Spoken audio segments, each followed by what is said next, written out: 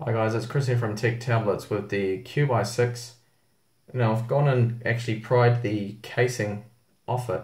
Got around here with a guitar pick all around this outer edge. It's very easy to do and you can quite simply just pull the back cover off and we can have a look at the internals here of the Cube i6. So not bad at all. The build quality as you can see, the materials they've used and everything, it's really well put together I mean, you'd, open up an iPad Air and it would look pretty similar to this. So we have the two slim battery cells here. They look to be the same that, it, that I've seen in the Teclast X98 Air 3G. And the back of the metal casing as well has a little bit of a heat spreader there on the back there to help with the heat. And the top part here, of course, is plastic. So we have better signal there for the wireless antenna.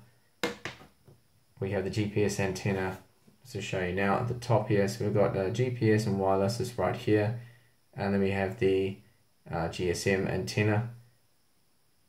Everything's taped down. We have these little uh, pressure pads around here as well to keep pressure on the the screen to keep it held against the, uh, the plastic surrounding here quite well.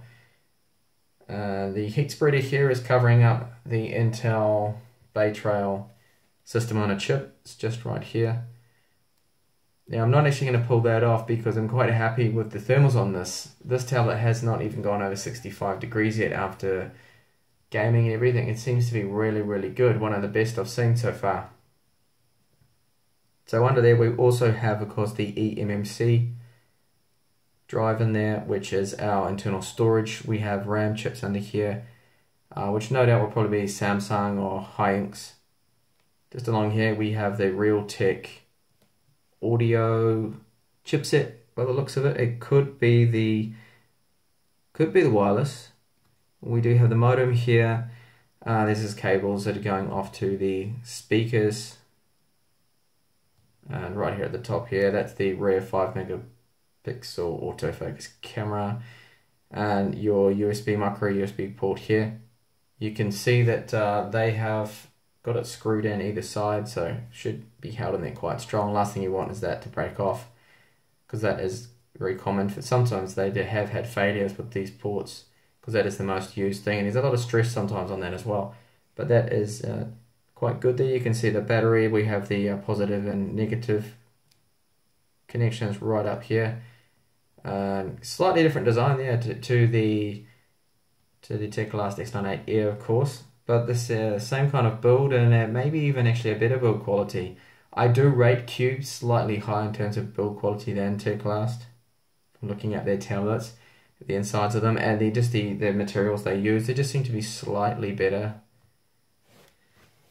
So that's the internals there of the Cube i6. Not really much else I can show you without actually pulling that apart there.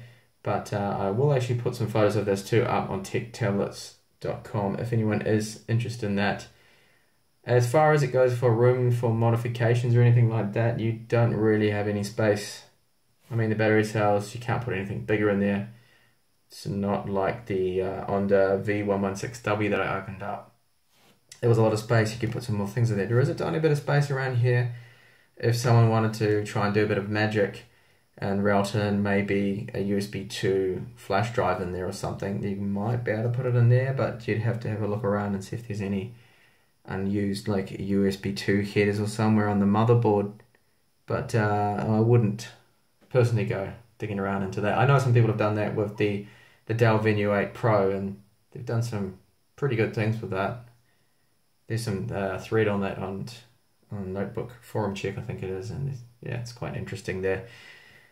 Anyway, so uh, not much. Yeah, well, microphones down here as well. That's one other thing I can point out. And that is it, really, the internals there of the Cube i6. Thank you for watching, and hopefully I'll see you in my next video. Bye for now.